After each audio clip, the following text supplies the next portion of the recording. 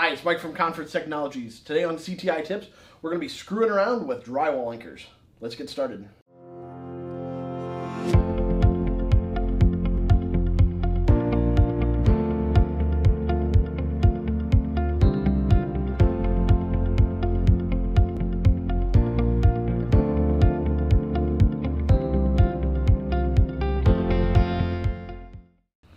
A problem that we constantly see out in the field is poorly mounted hardware. That can lead to a service issue, poor aesthetics, or even something falling, and that's no good.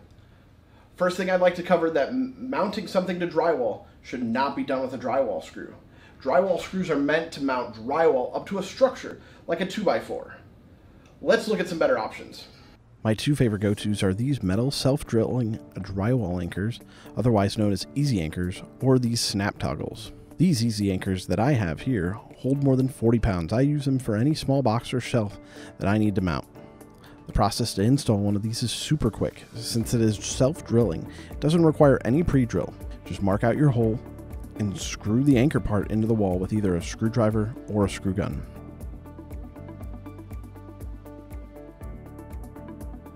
Then you just need to use the provided screw to attach your device to the wall.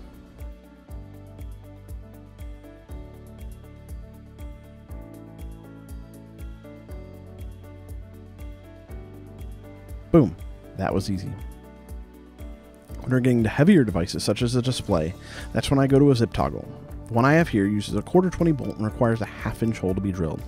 It can withstand over 200 pounds of shear weight in drywall.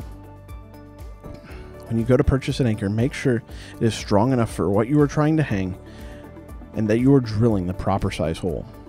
When I drill this hole, I'm going to collect my mess to prevent the drywall dust from hitting the floor.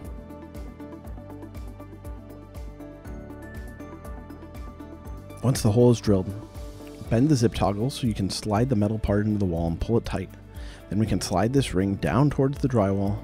We want to make sure that the two ends are even, otherwise we'll have challenges in the future.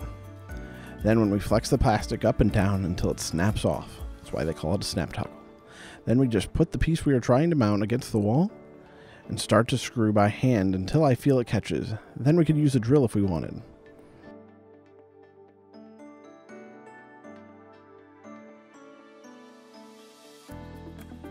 Go ahead and check level.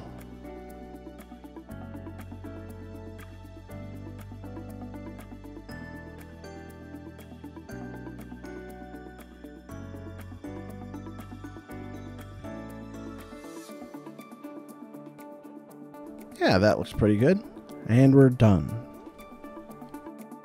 Thanks for watching today. Hope you learned something. If you did, please click like and subscribe. If you have any suggestions for future videos, please put them in the comments section down below. We'll see you next episode.